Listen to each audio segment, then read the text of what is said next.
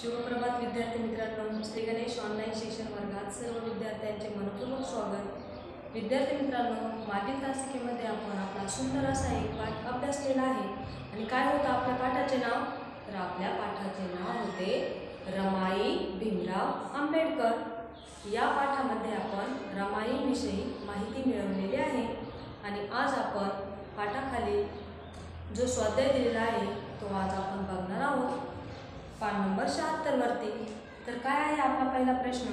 तर आपला पहिला प्रश्न आहे एका वाक्यात उत्तरे लिहा.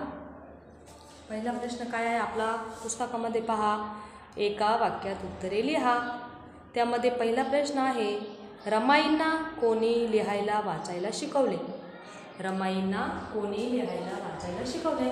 काय आहे या प्रश्नाचं उत्तर? सांगा पटकन. अगदी बरोबर. बाबासाहेबांनी रमाईंना घरीच लिहायला वाचायला शिकवले. डॉक्टर बाबासाहेब आंबेडकर यांनी रमाईंना घरीच लिहायला वाचायला शिकवले. त्यानंतर पुढील दुसरा प्रश्न काय आहे आपला? आपला दुसरा प्रश्न आहे डॉक्टर आंबेडकर शिक्षणासाठी कुठे गेले होते? डॉक्टर आंबेडकर शिक्षणासाठी कुठे गेले होते? सांगा बरं. अगदी बरोबर. या प्रश्नाचं उत्तर आहे बाबासाहेब एकोणावीसशे त्र्याण्णव साली शिक्षणासाठी अमेरिकेला गेले. बाबासाहेब एकोणावीसशे त्र्याण्णव साली शिक्षणासाठी अमेरिकेला गेले. त्यानंतर पुढील प्रश्न आहे. काय आहे पुढील प्रश्न? दिसतं का सर्वांना? डॉक्टर बाबासाहेब आंबेडकरांनी समाजासाठी कोणता लढा उभारला? डॉक्टर बाबासाहेब आंबेडकरांनी समाजासाठी कोणता लढा उभारला? सांगा बरं उत्तर. अगदी बरोबर. तर डॉक्टर बाबासाहेब आंबेडकरांनी समाजासाठी दीनदलित समाजाला मान सन्मान व मानवी हक्क मिळावे म्हणून सामाजिक न्यायाचा लढा उभारला.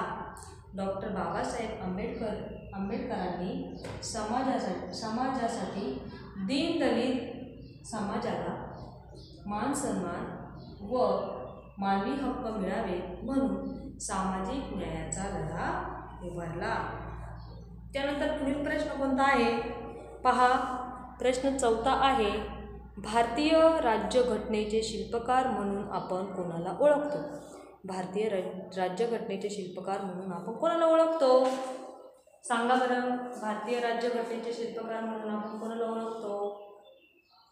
अगदी बरोबर या प्रश्नाचं उत्तर आहे भारतीय राज्यघटनेचे शिल्पकार म्हणून आपण डॉक्टर बाबासाहेब आंबेडकर यांना ओळखतो. भारतीय राज्यघटनेचे शिल्पकार म्हणून आपण डॉक्टर बाबासाहेब आंबेडकर यांना ओळखतो. त्यानंतर पुढील प्रश्न आहे काय आहे पुढील प्रश्न?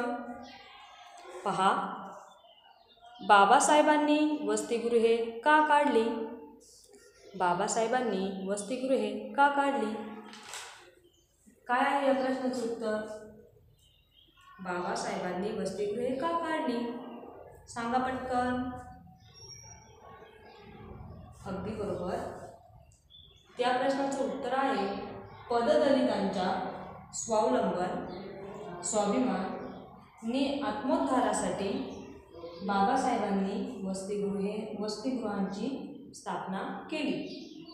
पददलितांच्या स्वावलंबन स्वाभिमानी आत्मोद्धारासाठी बाबासाहेबांनी वसतिगृहांची स्थापना केली. त्यानंतर पुढील प्रश्न आहे. पहा. वसतिगृहातील सर्व मुले का भारावून गेली? सांगा पटकन. पुढील प्रश्न आहे वसतिगृहातील सर्व मुले का भारावून गेली? अगदी बरोबर. या प्रश्नाचं उत्तर आहे रमाईंच्या प्रेमाने वात्सल्याने वसतिगृहातील सर्व मुले भारावून गेली. रमाईंच्या प्रेमाने वात्सल्याने वसतिगृहातील सर्व मुले भारावून गेली. त्यानंतर आपल्याला पुढे पुढील दुसरा प्रश्न दिलेला आहे. काय आहे प्रश्न दुसरा? दोन तीन वाक्यात उत्तरे लिहा. काय आहे पुढील प्रश्न?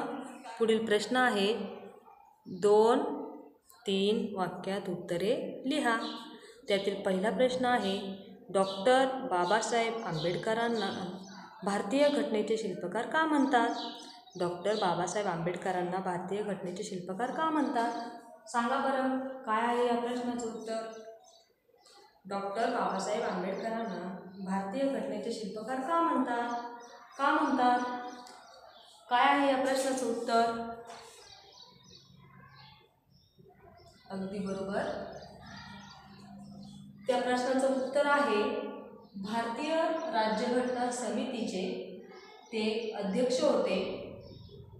त्यांनी मसुदा समिती खूपच परिश्रम घेतले म्हणून त्यांना भारतीय राज्यघटनेचे शिल्पकार असे म्हणतात. भारतीय राज्यघटना समितीचे डॉक्टर बाबासाहेब आंबेडकर हे अध्यक्ष होते. त्यांनी मसुदा समितीमध्ये खूपच परिश्रम घेतले होते. परिश्रम या शब्दाचा अर्थ पाहिला होता आपण. कष्ट त्यांनी मसुदा समितीत खूपच परिश्रम घेतले म्हणून त्यांना भारतीय राज्यघटनेचे शिल्पकार असे म्हणतात. त्यानंतर आपला पुढील प्रश्न आहे काय आहे पुढील प्रश्न? त्यानंतर आपला पुढील प्रश्न आहे वसतिगृहातील सॉरी रमाईन रमाईंनी रमाईंनी वसतिगृहात अन्नधान्याचा तुटवडा दिसल्यावर काय केले? पुढील प्रश्न काय आहे आपला? रमाईंनी वसतिगृहात अन्नधान्याचा तुटवडा दिसल्यावर काय केले? काय केले रमाईंनी? कोण सांगतं?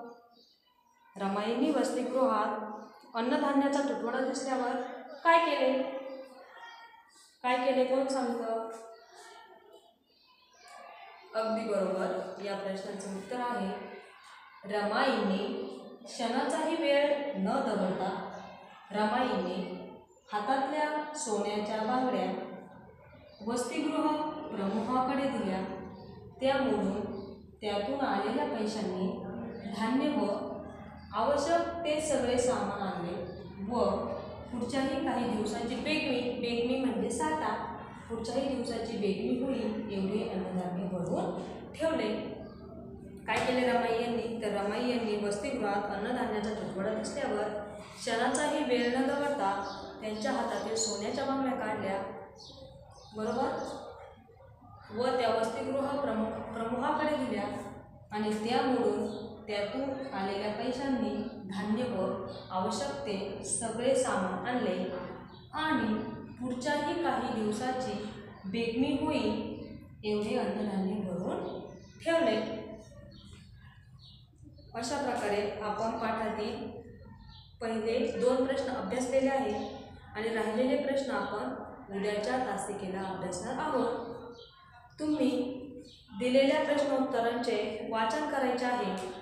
आणि तुमच्या नोटबुकमध्ये आपण सोडवलेले प्रश्नोत्तरे लिहायचे आहेत. हा राहील तुमचा उद्याचा होमवर्क थँक्यू